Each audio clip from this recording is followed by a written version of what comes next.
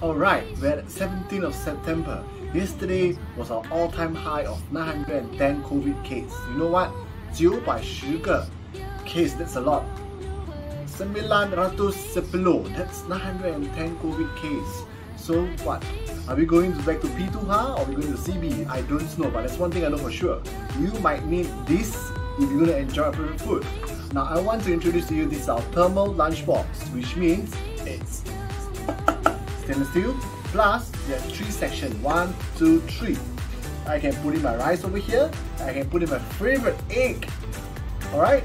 And of course I can put in my vegetables over here.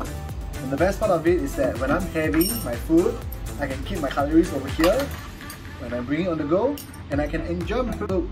When I'm having my lunch, you know what? You take your phone, you put over here and you eat and enjoy my YouTube channel.